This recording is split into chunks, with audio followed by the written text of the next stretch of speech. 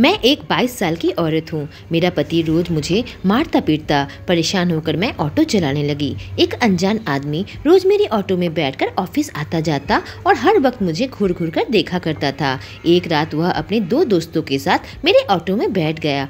एक सुनसान जगह पर ऑटो रोककर वे दारू पीने लगे और मुझे भी दारू पिला दी। और उसके बाद उन लोगों ने मेरे साथ जो कुछ भी किया, मेरी चीख निकल गई। मेरा नाम मोना है। मेरा बाप एक शराबी था और जो भी पैसे कमाता था, जुए में उड़ा देता था। उसे जुए की इतनी बुरी लत लगी हुई थी कि धीरे धीरे हमारा जीना दुश्वार होता चला गया। मेरी माँ लोगों के घर में सफ़ाई बर्तन का काम करती थी और काम से उन्हें जो भी सामान मिलता था, मेरा बाप उसे भी लेकर जुए में लगा दिया करता था। पर एक दिन कुछ ऐसा हुआ कि घर में एक आदमी आ गया। तब मैं मात्र अठारह साल की थी। घर आते ही वह मेरा हाथ पकड़ लिया और मुझे खींचने लगा। मैं बहुत डर गई और चीखने चिल्लाने लगी थी। मेरी माँ मुझे बचाने आई। उसने मेरी माँ को भी धक्का मार दिया। मेरे कुछ भी समझ में नहीं आ रहा था कि आखिर वह आदमी मुझे खींच कर कहाँ ले जा रहा है और यह है कौन? न जाने मेरा बाप कहाँ था। तभी शराब के नशे में धुत मेरा बाप वहाँ पर पहुँच गया गया।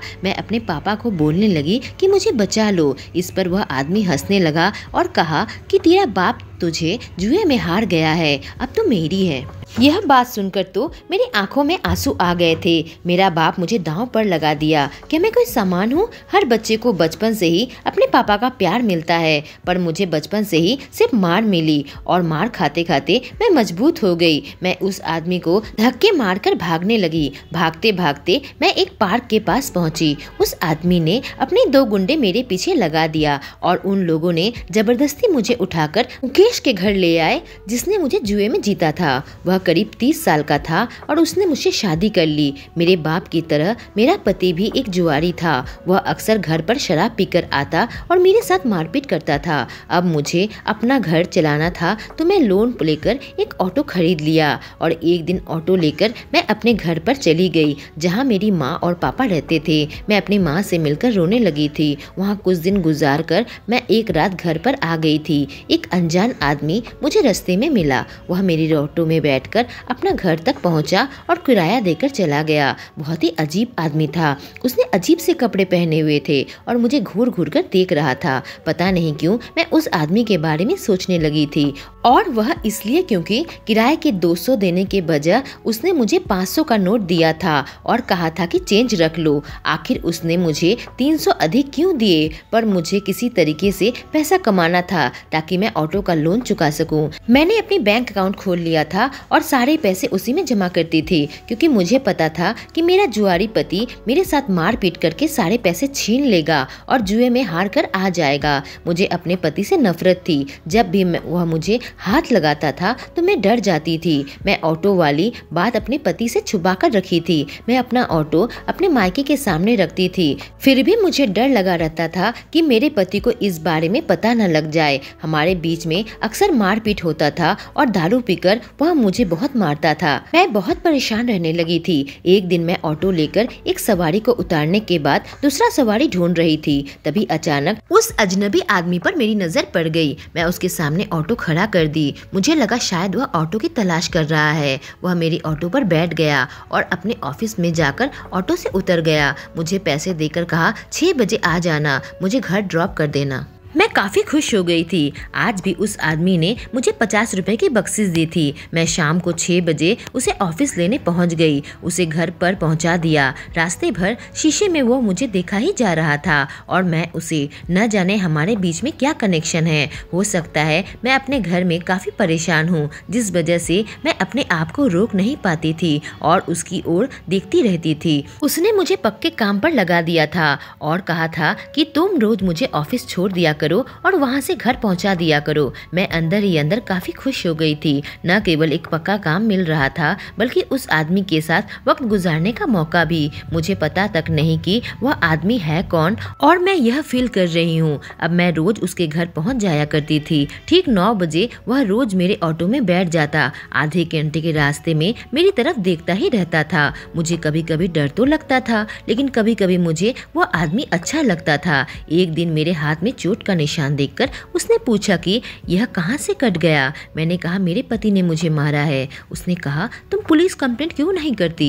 पर पुलिस के नाम से ही मैं घबरा गई। मैं नहीं चाहती थी कि पुलिस मेरे पास भी पहुँचे, क्योंकि पुलिस पर मुझे विश्वास नहीं। मेरी ज़िंदगी का एक इतना बड़ा रहस्य जो मैं दुनिया से छुपा रखी थी, मैं पुलिस के चक्कर में नहीं पड़ना चाहती थी। रात को मेरा पति कमरे में आया और मेरे ऊपर भूखे शेर की तरह टूट पड़ा, लेकिन अपनी ज़रूरत पूरी होने के बाद ही वह मेरे ऊपर हाथ उठाने लगा। कब तक मैं अपने पति का अत्याचार बर्दाश्त करूँ? आज मैं भी उसे दो थप्पड़ लगा दिया। अब मैं 22 साल की हो चुकी हूँ और पिछले चार साल से उसका अत्याचार सह रही हूँ। अब मुझसे और नहीं सहा जाता। मेरा पति काफ़ी गुस्से में आ गया था। अगले दिन जब मैं काम करने के लिए निकली तो मुझे ऐसा लगा कि कोई मेरा पीछा कर रहा हो। मैं किसी तरह चुपके चुपके अपने ऑटो के पास पहुँची तो जल्दी से ऑटो लेकर उस आदमी के घर तक पहुँच गई। मैं काफ़ी डरी और घबराई हुई थी। उस आदमी ने मेरा डर भाप लिया और कहा, क्या बात है? मैंने कहा, मुझे लगा कि कोई मेरा पीछा कर रहा है। वह आदमी बहुत ही हैरत भरी निगाहों से मेरी तरफ़ देखने लगा। तो मैंने उसे कहा, मेरा पति को नहीं पता कि मैं ऑटो चलाती हूँ। मैं अपने मायके के सामने अपना ऑटो खड़ा करती हूँ। क्योंकि अगर मेरे पति को पता चल गया कि मेरे पास ऑटो है तो मुझे डर है कि वह उसे भी जुए में लगाकर हार जाएगा। जुए और शराब से उसने हमारी ज़िंदगी नरक बनाकर रखी है।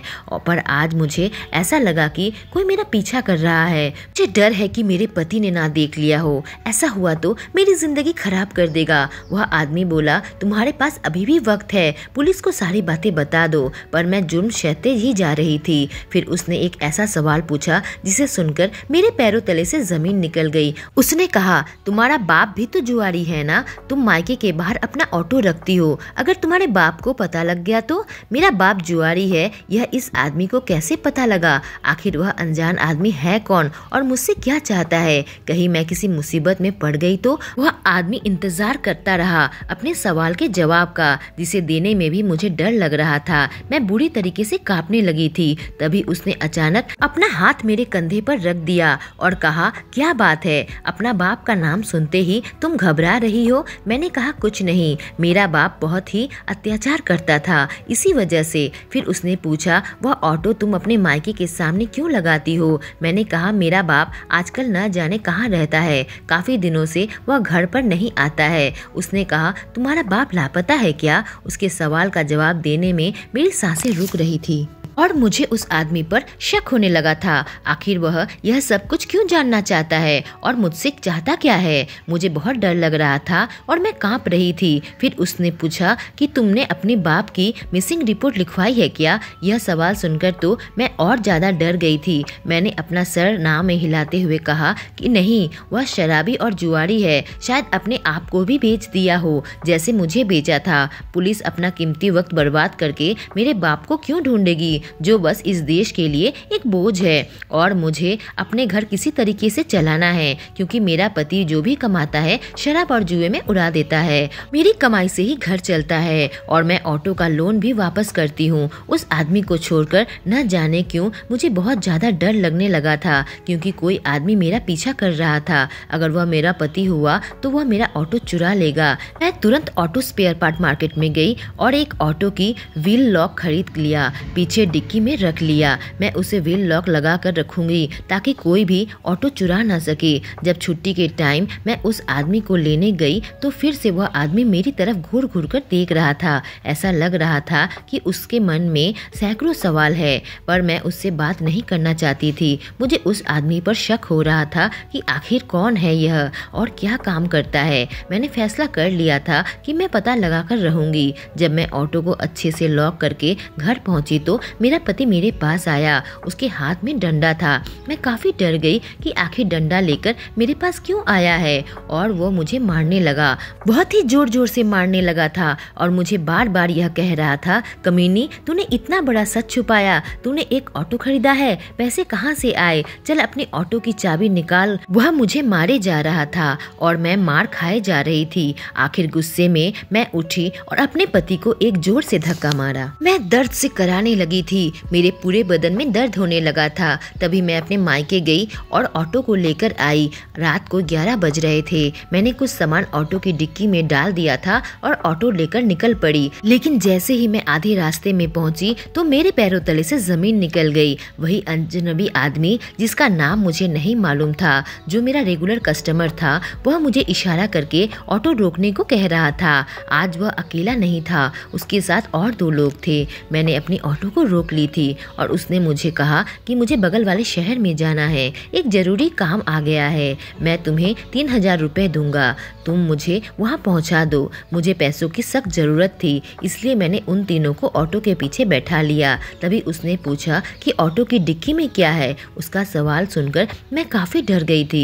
मैंने कहा, कुछ पुराने सामान हैं, मुझे कहीं बेचना है। फिर उसने इस बारे में कुछ भी नहीं पूछा। न जाने क्यों मुझे बहुत डर लग रहा था और किसी तरीके से मैं ऑटो चला रही थी। उनको मैं बैठाना नहीं चाहती थी, पर मेरे पास उसके अलावा और कोई चारा भी नहीं था। उस आदमी ने पूछा, इतनी रात को ऑटो क्यों चला रही हो? मैंने कहा, मुझे पैसों की सख्त ज़रूरत है, ऑटो की ईएमआई देनी है। अचानक ही बीच में उस आदमी ने ऑटो रोकने को कहा। उसका एक साथी उतरकर कुछ सामान लेने चला गया। वह आदमी भी उतरकर मेरे पास आ गया। मैं उस आदमी से अपना चेहरा छुपाने लगी थी। उसने कहा, तुम्हारे पति ने बुरे तरीके से तुम्हें मारा है। मेरी आँखों में आँसू आ गए थे और मैं कांपने लगी थी। अचानक उसने मेरा हाथ पकड़ लिया और मेरा चोट देखने लगा। मेरे पूरा बदन घायल था। उसने कहा, अभी भी वक्त है। पुलिस स्टेशन में जाकर कंप्लेंट कर दो। मैंने कुछ भी नहीं कहा। तो उसने कहा, घर से भाग रही हो क्या?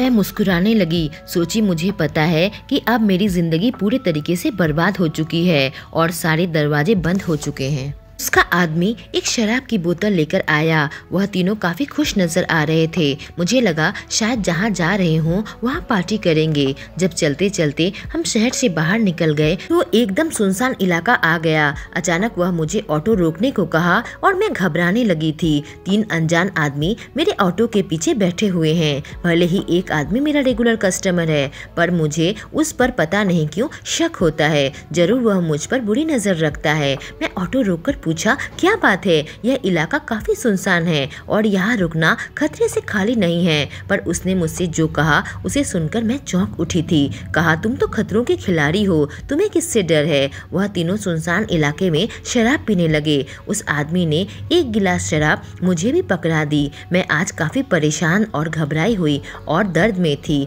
तो मैं भी उन लोगों के साथ शराब पीने लगी। मैं शराब में अपने सारे गम भूल जाना चाहती थी। मैं उन तीनों की बाहों बाहों में अपना सब दर्द भूल जाना चाहती थी। न जाने मैं क्या सोचने लगी थी, लेकिन शराब पीने के बाद उन तीनों ने मेरे साथ कुछ ऐसा किया कि मैं थर थर कांपने लगी थी। मेरी हालत बहुत ख़राब हो गई थी। मेरी साँसें हलक पर अटक गई थी। मैंने कभी सपने में भी नहीं सोचा था कि मेरे साथ यह सब कुछ, पर नशे में सब कुछ अच्छा लगने लगा था। मैं अपना डर और गम भूलने लगी थी और मैं अपना होश पूरी तरीके से खो बैठी थी। जब सुबह हुई तो मेरी आँखें खुली। मैं एक घर पर थी और वह अजनबी आदमी मेरे सामने बैठा हुआ था।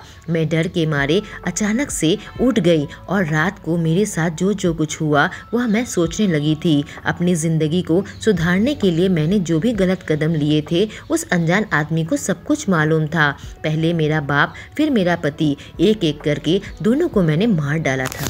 एक दिन मैं अपने मायके गई हुई थी। तभी मैंने देखा कि मेरा बाप मेरी माँ को बुरी तरीके से मार रहा था। शायद उस दिन वह मेरी माँ को मार ही डालता। अगर मैं चाकू अपने बाप के सीने के आड़ पार नहीं कर दिया होता, जब मेरा बाप मर कर नीचे पड़ा हुआ था तो मेरी माँ ने राहत की सांस ली थी और मुझे अपनी बाहों में लेकर कहा था कि तूने मेरी जान बचा ली है।